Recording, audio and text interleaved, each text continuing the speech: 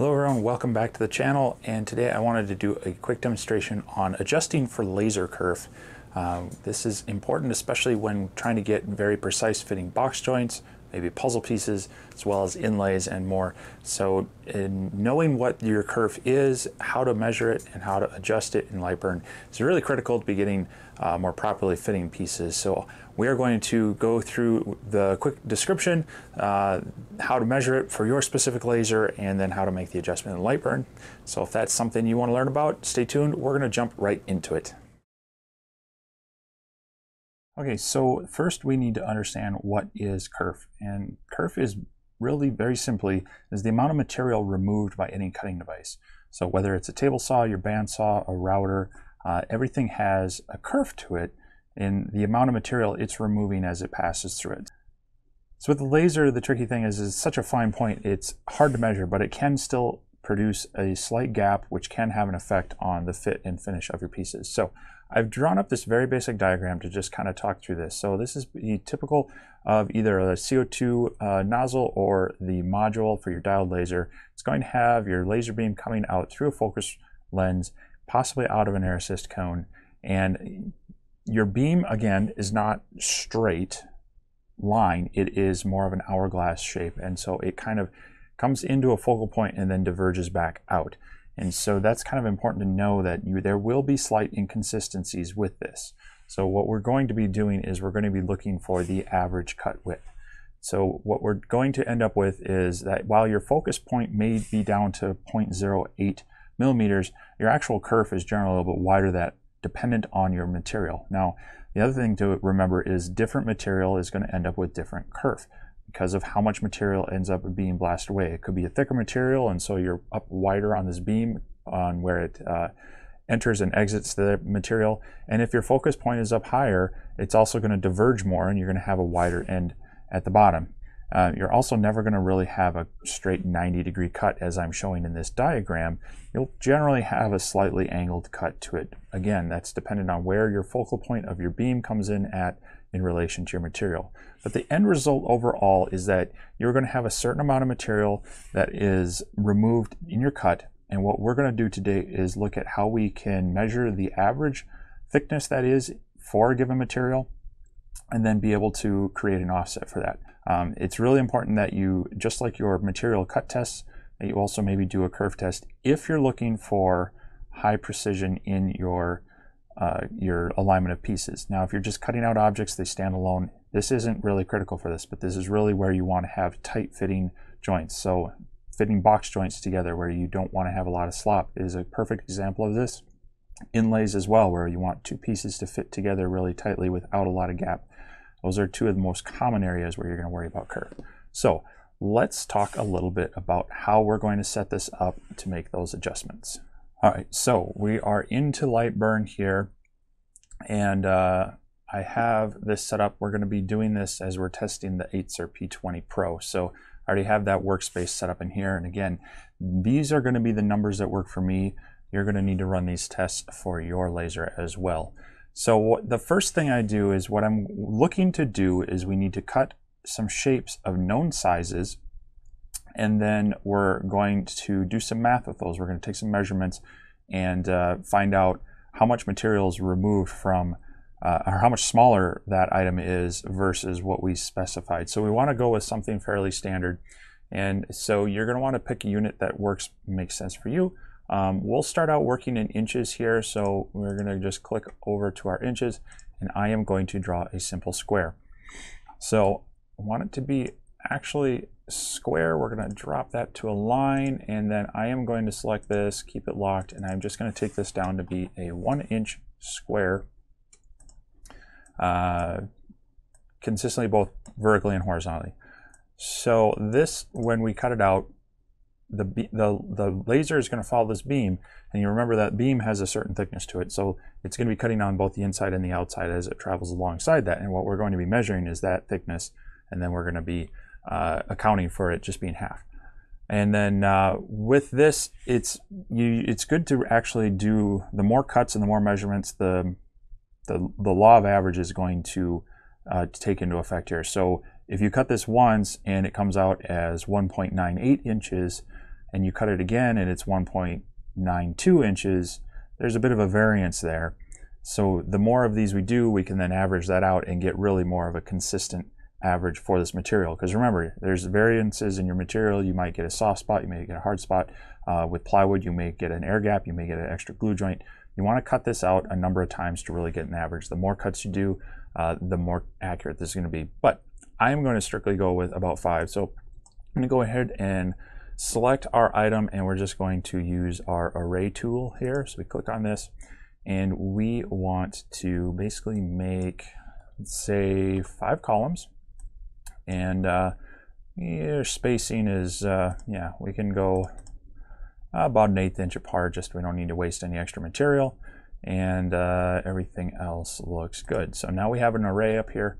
We're gonna go check our settings here. Um, and in there, see here's, I've been already been playing with the kerf. We're gonna wanna zero this out to start. So if you have anything in there you want to zero it out, this kerf offset is what we're going to be playing with later. But we want one pass. Uh, this machine, at, for my material test, cutting about 450, max power of 100%. That's going to get our most consistent cut. Again, you want to be using the numbers you've tested on this because you want the most efficient cut possible. So if you're using extra power and going slower, you might be getting some extra burning that you don't need, and that's going to affect the measurement here. So we got our five squares here. We've got it set up. Uh, we've got zero kerf adjustment.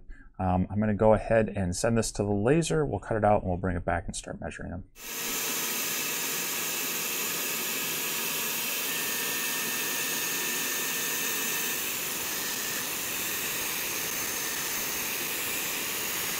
All right, so we went ahead and cut these out and I went ahead and taped this to keep them in order just in case uh, that helps. So I'm going to then just go ahead and label these one, two, three, four, and five. And that's just in case we need to make measurements of this compared to this, but mostly we're worried about how these all compare in size in both directions and then also in uh, relation to what we drew them up as one inch. So now I'm going to go ahead and take this tape off. And they're all dropping out, which is good. So we'll just slide this up there for now. The next thing you are going to need is you're going to want a decent digital caliper. Uh, I like the metal versions over the plastic ones. They just tend to be a little more consistent and accurate.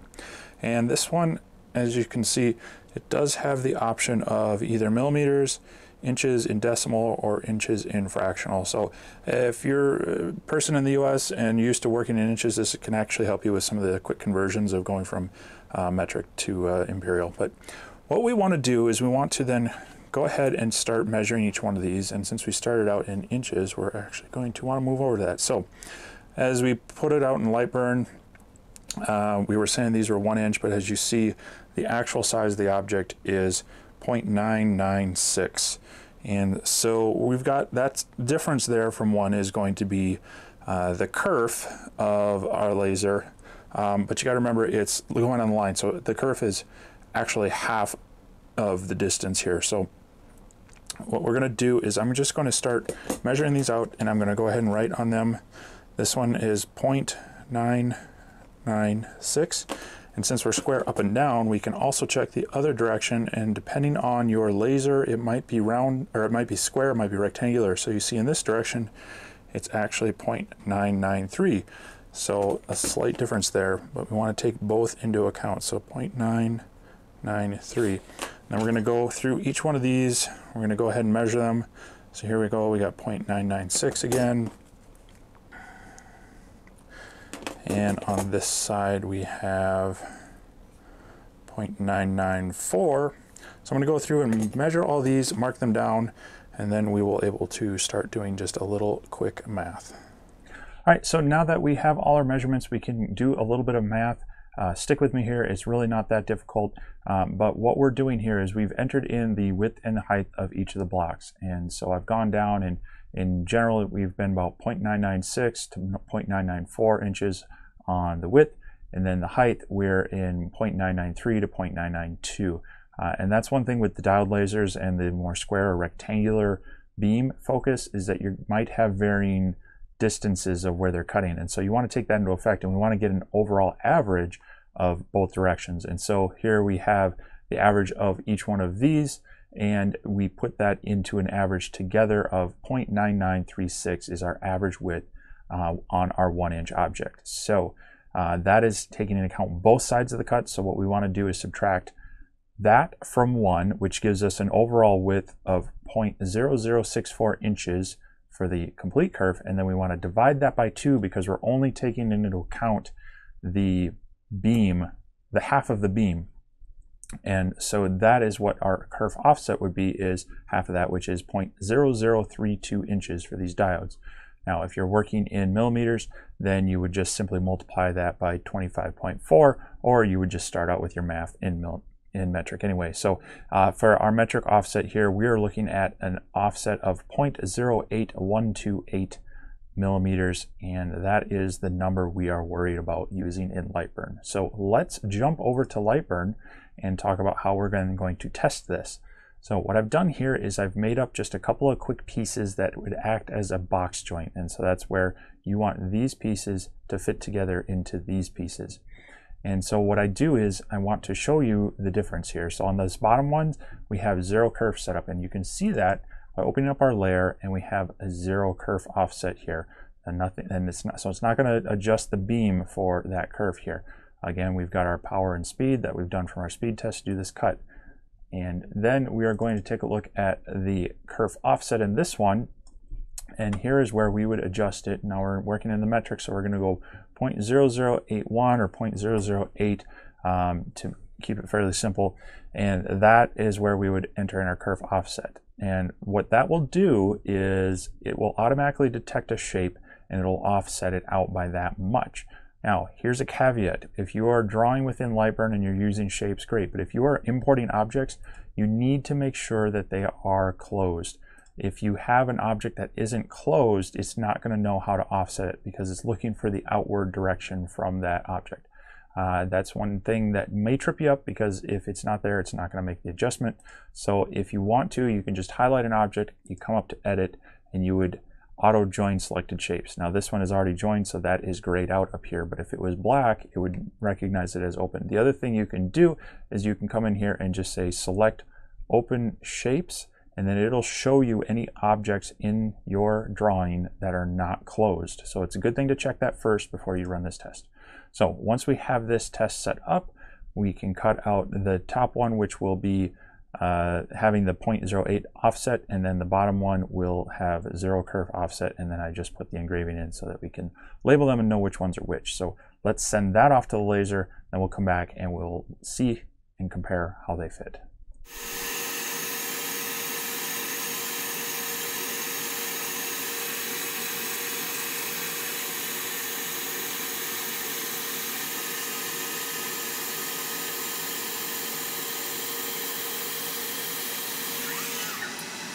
All right, I've brought in the pieces from the laser. Again, we've marked them. So this pair did not have a kerf offset. This pair does have the kerf offset. So let's just take a look at this. So when you put these pieces together, you'll notice that there is a little bit of wiggle there. And when I move it back and forth, you can kind of see that gap uh, top or bottom there. Um, that is a concern because obviously these pieces will not fit snugly together and uh, that can give you an issue. Like if you have an inlay that can be a gap that then shows light through or that needs to be filled up more. Uh, if you're doing some gears that need tighter fitting, um, that can be an issue. Or when doing box joints, you know, that little bit over a longer span can cause just a little bit of offset and some slight inaccuracies. Again, with these diode lasers, it's very minor, but still something to be concerned. All right, so these pieces do have our kerf offset.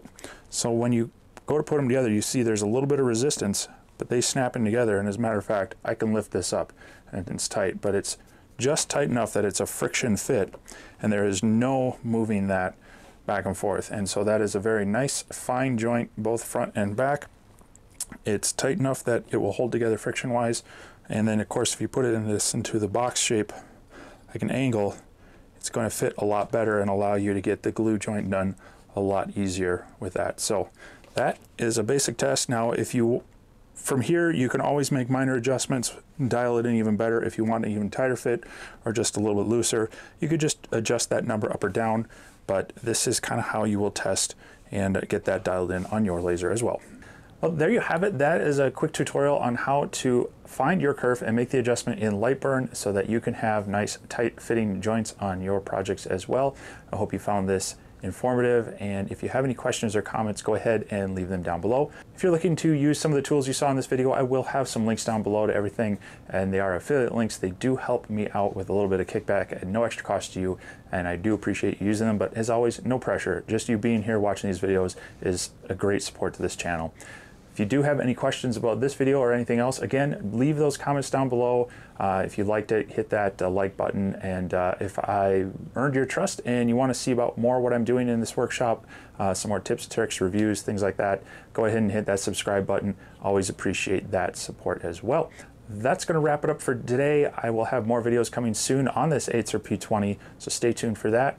And uh, don't forget to catch our Sunday night live streams that I do with the Clack Shack every Sunday evening at 7 p.m. Central. We have a fun time just allowing, answering questions from the audience and talking about new things that are going in our workshops as well. So be sure to uh, watch our channels for that.